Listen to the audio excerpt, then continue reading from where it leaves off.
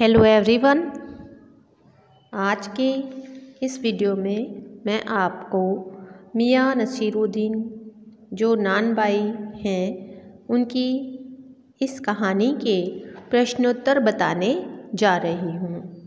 ये सभी प्रश्न परीक्षा के लिए अत्यंत महत्वपूर्ण है। पहला प्रश्न है, मियाँ नसीरुद्दीन को नानबाइयों का मसीहा क्यों कहा गया है? देखिए, मियाँ नसीरुद्दीन का चरित्र जो है, वो कोई साधारण व्यक्ति का नहीं है। उनके अनुसार, वो कोई साधारण नानबाई नहीं है, वो खानदानी नानबाई हैं। उनके पास छप्पन प्रकार की रोटियाँ बनाने का हुनर था। वे तुनकी और रुमाली रोटियाँ बनाना जानते हैं। वे रोटी बनाने को एक कला मानते थे और ऐसे कहते थे कि वह इस कला के उस्ताद हैं। उनकी बातचीत का तरीका महान कलाकारों जैसा है। उनमें आत्मविश्वास और फक्कड़पन दोनों देखने को मिलते हैं। इसलिए उन्हें नान बाइयों का मसीहा कहा गया है। नान बाई का मीनिंग होता है रोटियाँ बनाने वाला। दूसरा प्रश्न है, लेखिका मियाँ नसीरुद्दीन के पास क्यों गई थी? आपको मैंने इससे पहले वीडियो में इसकी पूरी डिटेल्स बताई थी, फिर भी मैं आपको इस प्रश्न का उत्तर बता रही हूँ। वह उनकी कारीगरी को जानने के लिए गई थी और उसे प्रकाशित करना चाहती थी। इसलिए उन्होंने मियाँ से रोटियाँ खरीदी नहीं, बल्कि कुछ प्रश्न कर लिए। और एक पत्रकार की हैसियत से कृष्णा सोबती, जो इस पाठ की लेखिका हैं, मियाँ नसीरुद्दीन का चरित्र चित्रण करती हैं, वह गई थी। तीसरा प्रश्न है, बादशाह के नाम का प्रसंग आते ही लेखिका की बातों में मियाँ नसीरुद्दीन की दिलचस्पी क्यों खत्म हो गई? बादशाह का प्रसंग आते ही लेखक से बात करना उसने कम कर दिया। क्यों? क्योंकि वह काफ़ी समय से परंपरागत रूप से बादशाह का नाम सुनता चला आया था और उसे तथ्यों का ज्ञान नहीं था। ना तो उसने इन सब नामों और तथ्यों का महत्व जाना था और ना ही उसे इनकी ज़रूरत कभी महसूस हुई थी। इसलिए लेखिका के प्रश्न सुनकर मियाँ नसीरुद्दीन को जवाब देना मुश्किल हो गया और उसने लेखिका की बातों में दिलचस्पी ख़त्म कर दी। प्रश्न आता है, मियाँ नसीरुद्दीन के चेहरे पर किसी दबे हुए अंधड़ के आसार देखकर यह मजमून ना छेड़ने का फैसला किया। इसमें कौन से प्रसंग का उल्लेख है? मियाँ नसीरुद्दीन जो थे, वो पत्रकारों को निठल्ला मानते थे। और पत्रकारों को निठलना मानने के साथ साथ वो ये मानते थे कि जो अखबार पढ़ते हैं, वो भी फालतू व्यक्ति होते हैं। यानी उन्हें कोई काम नहीं होता। निठल्ला यानी जिन्हें कोई काम नहीं होता। इसलिए उन्होंने लेखिका की बात को बीच में ही काट दिया और कहा कि, बब्बन मियाँ, भट्टी सुलगा लो, काम से निपटें। यानी अब वो रुखाई स्पष्ट दिखा रहे हैं, वो नहीं चाहते हैं कि लेखिका वहाँ ठहरे, क्योंकि वह पत्रकार लोगों को निठल्ला मानते हैं। यानी मुफ्तखोर निठल्ला मानते हैं जिन्हें कोई काम नहीं होता।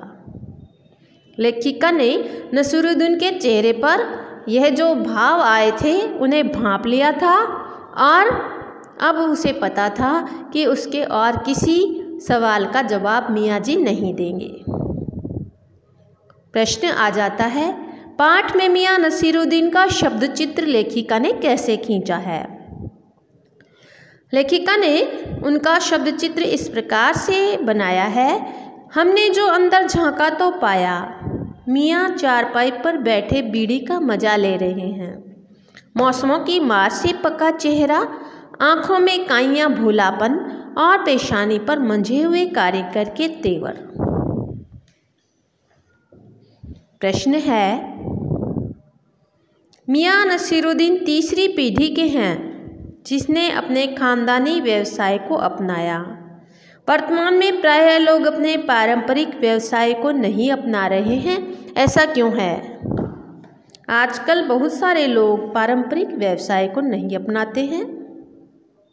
जिनके घरों में अच्छे बिज़नेस हैं, वही केवल यह व्यवसाय अपनाते हैं, अपने जो पुरानी पीढ़ी के व्यवसाय हैं। और जिनके व्यवसाय छोटे हैं, लाभ कम है, वह अन्य व्यवसायों की ओर जाने लगे हैं। कुछ शिक्षा का प्रसार बढ़ने के कारण और तकनीकी आदि आ जाने के कारण भी नए नए व्यवसाय उत्पन्न हो गए हैं। इसलिए लोग अपने पैतृक धंधे को छोड़ करके अन्य बिज़नेस अपनाना चाहते हैं। प्रश्न आ जाता है, मियाँ नसीरुद्दीन सच्ची तालीम किसे मानते हैं? मियाँ नसीरुद्दीन सच्ची तालीम व्यवहारिक अनुभव को मानते हैं, यानी प्रैक्टिकल नॉलेज होना ज़रूरी है। उनके अनुसार, जब तक कोई आदमी काम करता नहीं है, यानी केवल सीखने से काम नहीं आता, काम करने से काम आता है बर्तन मांजना भट्टी बनाना, भट्टी में आँच देना नहीं सीखता। उनके अनुसार तो वह अच्छा नानबाई नहीं बन सकता। केवल चार पाई पर बैठकर हुक्म चलाने से ही कोई अच्छा नानबाई नहीं बन जाता। यह मियाँ नसीरुद्दीन का मानना है। उनके शब्दों में तालीम को अपनाना महत्वपूर्ण है, यानी काम को सीखना ज़रूरी है। तभी वह काम करना आता है। प्रश्न है, मियाँ नसीरुद्दीन कौन सी कला में माहिर थे? आ, यह महारत उन्हें कैसे मिली थी? उत्तर है, उन्हें छप्पन प्रकार की रोटियाँ बनानी आती थी। और यह कला उन्होंने अपने पिता से सीखी थी। उनके पिता ने उनके दादा से सीखा था।